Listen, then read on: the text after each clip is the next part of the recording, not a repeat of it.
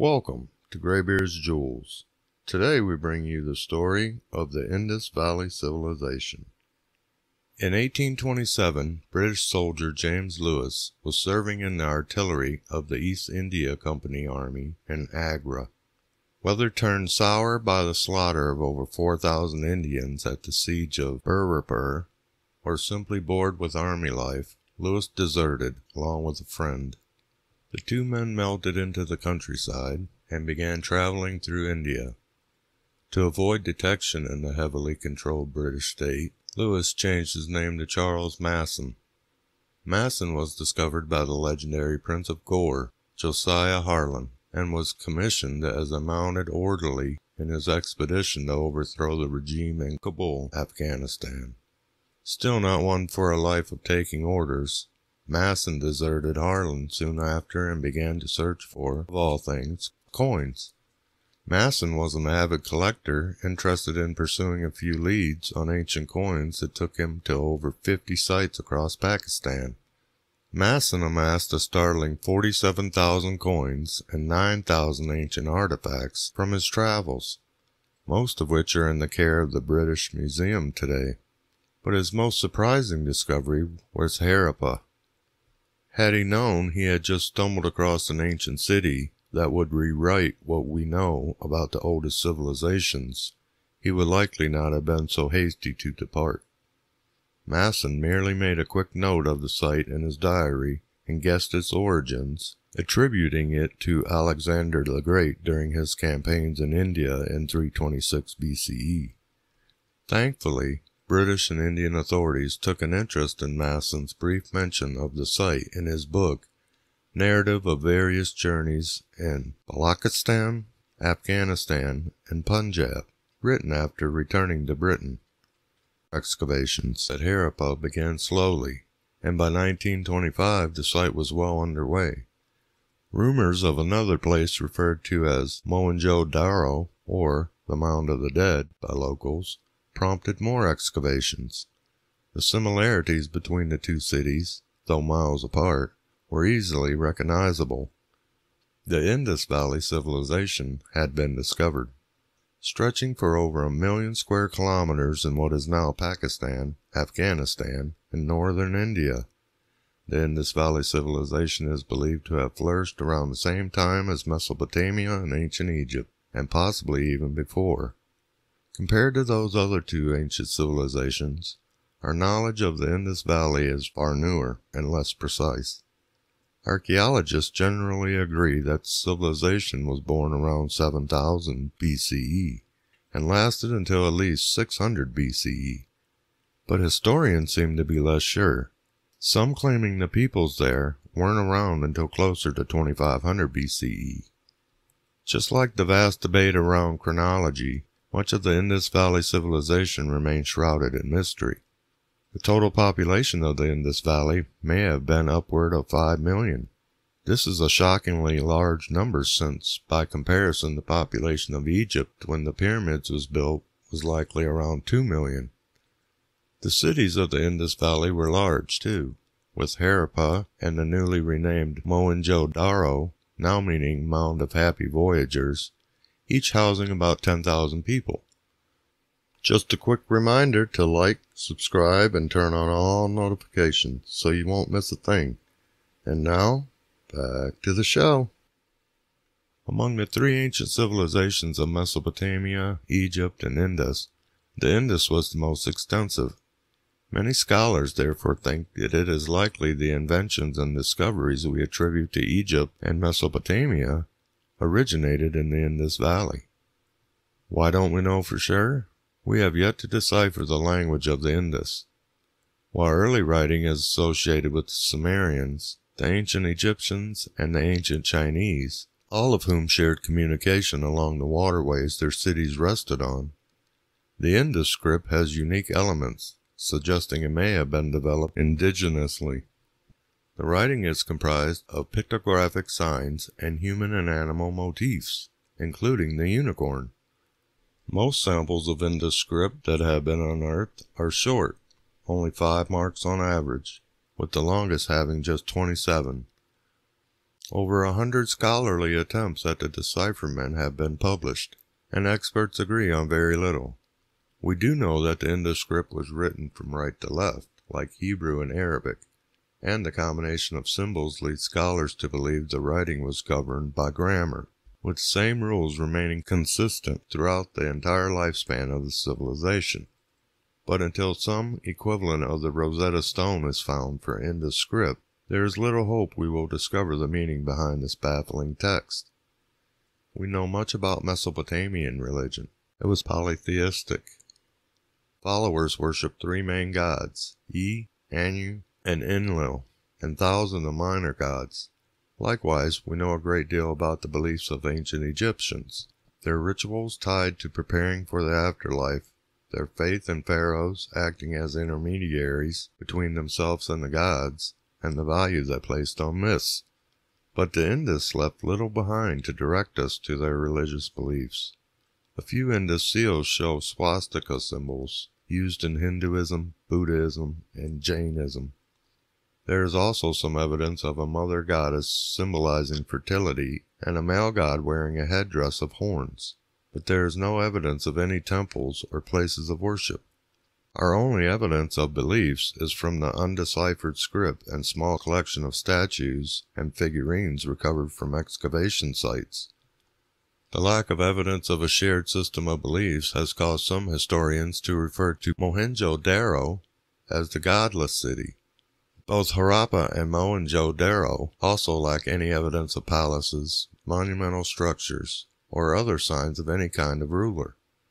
The differences in house types and size point to some degree of social stratification, but not to monarchy. Historians suggest Mohenjo-Daro could have been akin to a city-state with a proto-democratic rule. Whatever its politics, the city was an engineering and architectural marvel. It boasted a well-planned rectilinear street grid and was built of standardized sized baked bricks. Each home featured its own baths and toilets, and a large communal great bath leads scholars to believe that the Indus people valued cleanliness to a high degree.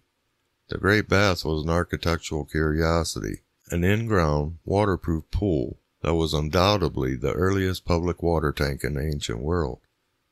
What the bath was used for is a mystery, but many believe it could have been host to purification rituals.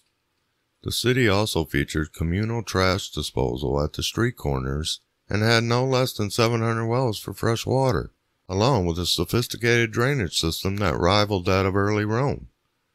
Devices known as wind catchers were attached to the roofs of some buildings, providing an early form of air conditioning. Harappa featured similar amenities, along with evidence of apartment-like dwellings likely used as workers' quarters.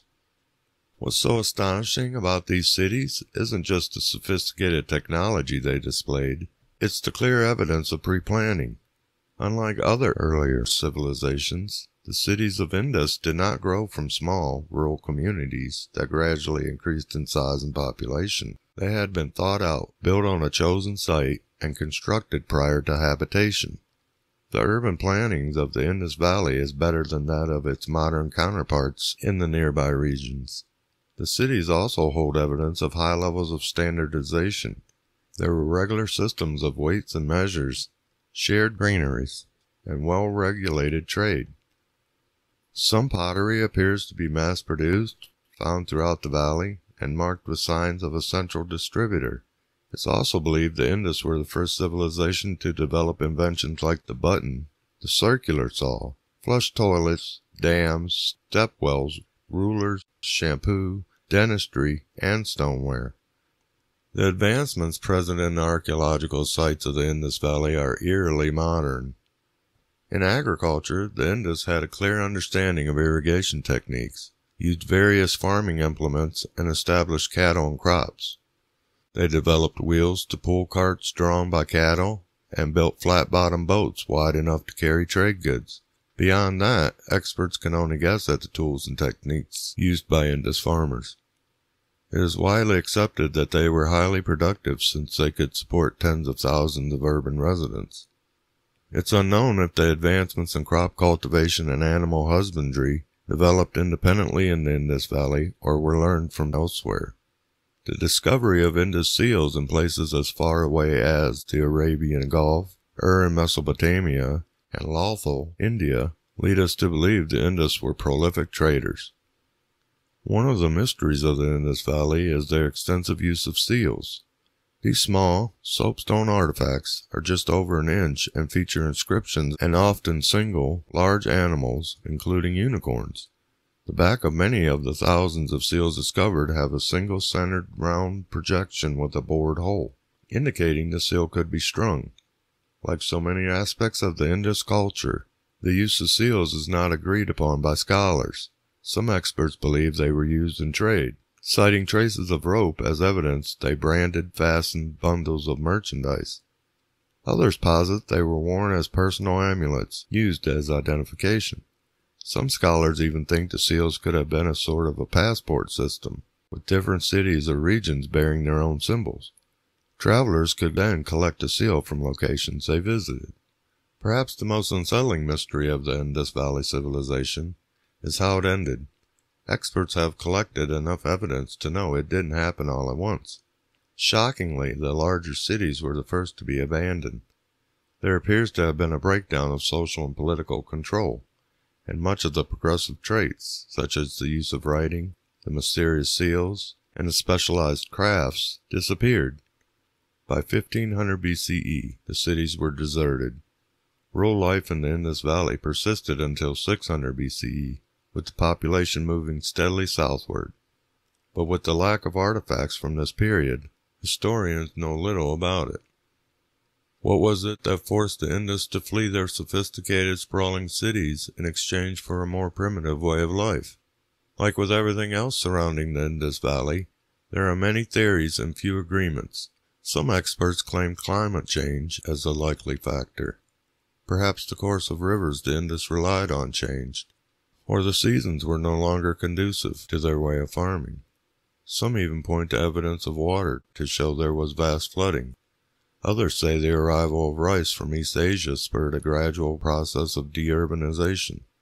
There is also evidence of overcrowding in the cities. The great bath of Mohenjo-Daro was built over with houses, and newer homes were built quickly and cheaply. There is speculation that the Mohenjo-Daro was attacked toward the middle of the second millennium BCE by raiders, who swept through the city, killing everyone in their path, then continued. The discovery of 39 human skeletons at the site and mentions of a large war called Rig Veda in Hindu poems served as evidence for this theory, but it has been widely denounced. From all that has been unearthed about the Indus, it appears it was a peaceful society, and there is no other evidence of weapons or battles. It is also possible the Indus Valley fell when Mesopotamia's trade network collapsed, cutting off access to the Indus' leading trade partner. However, the most widely supported theory of the decline of the Indus Valley contains a bit of each of these. The cities likely began to decline due to overpopulation and changes in the waterways, which led to the spread of disease and a myriad of other hardships that eventually forced people to abandon their urban lives. And though the Indus Valley continued to be home to millions of people for hundreds of years, they never returned to greatness. As to what became of those late Indus Valley dwellers, evidence suggests they ventured to other parts of the world and changed the trajectory of different civilizations. Recent research on the genome of Aboriginal Australians indicates that there was substantial gene flow from India during the time the cities of the Indus Valley collapsed. This is also consistent with sudden change in plant processing and tool technologies along with the first evidence of the infamous Australian dog, the dingo. Is it possible the Indus fleeing cities like Harappa made their way to Australia and passed along their knowledge, and even a dog or two? DNA collected from a woman in a 4,500 year old burial site in the Indus Valley revealed that the people of the Indus Valley civilization are the primary ancestors of most living Indians in much of South Asia. Most of the truth about the Indus Valley civilization is locked away in its indecipherable script, or still lying buried in the ruins of their ancient cities. The excavation sites themselves are under threat due to near constant stream of tourists, along with soil salination, and rising water levels. Whether researchers will uncover what remains before it's impossible to excavate further, or if they will devise a non-destructive way to study these sites remains to be seen. The ancient Egyptians left us pyramids and hieroglyphs. The Mesopotamians left us the first record of war and what we believe is the earliest form of written language. The Indus Valley civilization has left us with mysteries, which once unlocked may teach us more about the earliest humans than we ever thought possible. We hope you enjoyed today's show. Thank you for watching, and we'll see you next time on Greybeard's Jewels. And don't forget the podcast. Bye.